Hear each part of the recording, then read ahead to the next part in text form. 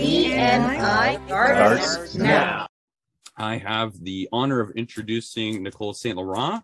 She is the founder of Urban Massage and Wellness, located in uh, here in St. Albert in uh, the Belrose area. Uh, Nicole is actually another uh, apex athlete with hobbies in uh, extreme sports such as mountain biking and downhill skiing. Um, she wound up breaking her hand three months after opening Urban Massage, and uh, currently in the last five years, she was able to grow from two people to uh, 19 staff in those five years. Yet, most people don't know that Nicole, at one point in her life, uh, had uh, dreadlocks down to her waist and she lived in a van down in New Zealand. So I will pass it on to you, Nicole. So, as Kyle said, I am Nicole St. Laurent, owner of Urban Massage and Wellness in St. Albert. Uh, today, I would like to introduce a little about me, about the clinic, and focus on how we can help you manage your aches and pains, as well as help you better manage your day to day stresses. Um, a little about me. I love travel, reading, and outdoor adventures, camping, food, friends, and anything that puts me next to a water feature. Bonus if I get to do it with my favorite uh, nephew. And as promised in the intro, there's there's a picture of the dreads just for, for everyone to see there. I opened Urban Massage and Wellness in 2017 with a desire to provide a non competitive environment and work with a team that focused on collaborative client care. I also just really wanted a purple floor. The benefits of massage therapy are extensive, as are the reasons clients seek massage. We believe regular massage is essential for a healthy life, both physically and mentally. Much of our treatment approach is to educate our clients on those benefits and to provide practical stretches, exercises, and tips that they can take into their day to day.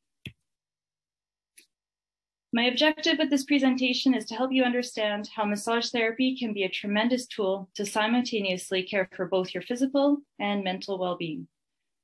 There are two main reasons that you might seek out massage therapy either you're stressed out or something hurts.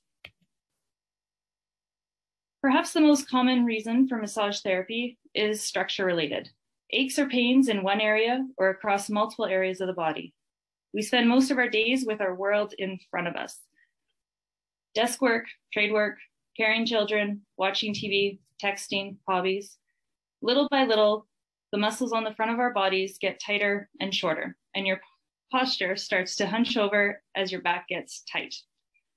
You start to notice a pain in your hip, back, or neck as your shoulders scrunch up to your ears, your jaw clenches, and headaches become a daily occurrence. You can ignore this for a little while, but eventually the pains in your body start affecting your daily activities and you start to feel stressed. Now, physical pain in and of itself can create stress, but throw a yes in the chat if you've ever said, I carry my stress in my neck and shoulders. Demands on our time and energy are constantly increasing. We are inundated with work, family, and a never ending to do list of obligations and responsibilities. These can feel like weights on our shoulders, and you may notice that stress can create a posture of its own. Shoulders pressed forward, scrunched up to the ears, jaw clenched, headache. Sound familiar? The pressures to achieve more and do more often leave people neglecting their own needs and self care resulting in physical pain and dysfunction, depleted energy resources, overwhelm, and burnout. This also increases the levels of a stress hormone in the body, cortisol. Too much cortisol for too long can lead to issues such as chronic fatigue, digestive imbalances, increased blood pressure, difficulty recovery from exercise, poor sleep, and many more. So here's the self reflection question of the day Am I stressed because I'm in pain, or am I in pain because I'm stressed? That question is as straightforward as what came first, the chicken or the egg. Most simply put, structure affects function and vice versa. Whether your daily repetitive activities created a pattern of bad posture in your body or chronic stress caused you to contract into a less optimal posture, the result remains the same. Where there is lack of space in the body, there is pain. Your body is contracted, which limits the flow of all of your systems cardiovascular, respiratory, lymphatics, emotions, etc. Massage therapy can create space in your body for both the mental and physical components and help you break out of this stress loop. Massage therapy will relax muscle tension, decrease pain, and increase mobility. These lists are not complete. In the physical side, we have improving posture, reducing or eliminating pain, decrease muscular tension, improve joint mobility and range of motion, enhance your athletic performance for all those apex athletes out there, speed healing after surgeries or recovery or injuries, reduce pain and swelling, lessen the formation of excessive scar tissue, promote deeper and easier breathing, improve circulation of blood and movement of lymph fluids, and strengthen the immune system. On the mental side, we can relieve mental stress, balance the nervous system. I'm sure everyone has heard so much about the vagus nerve lately and its importance in all that you do.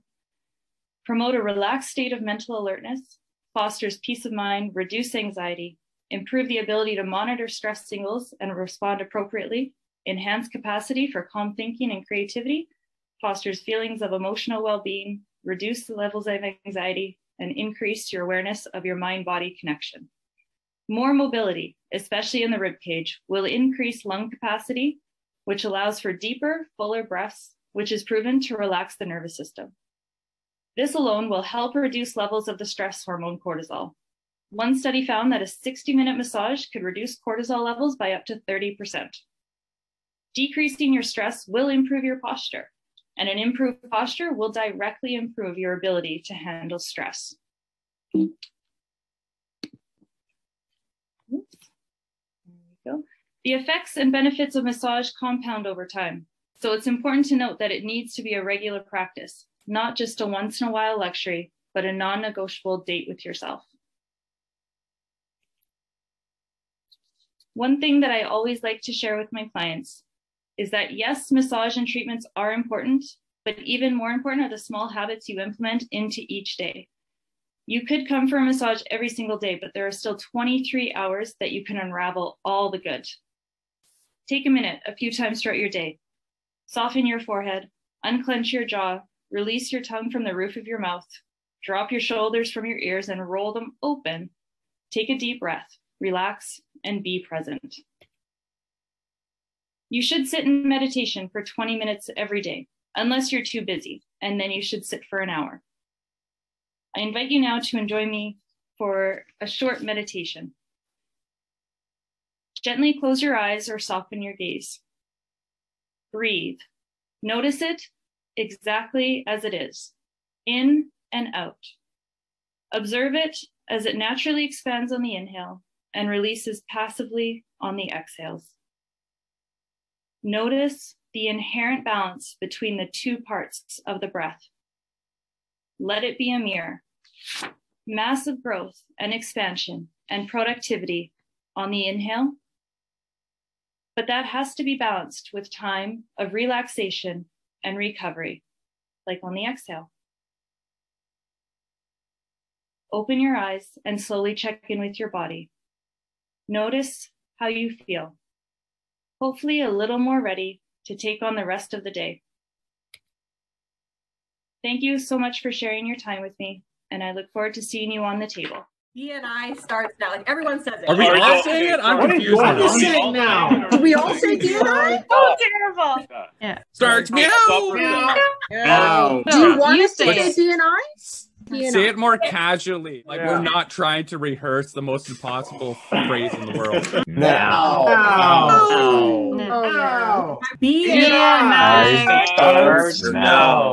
Oh. DNI. Starts now. Now. What was the best one yet?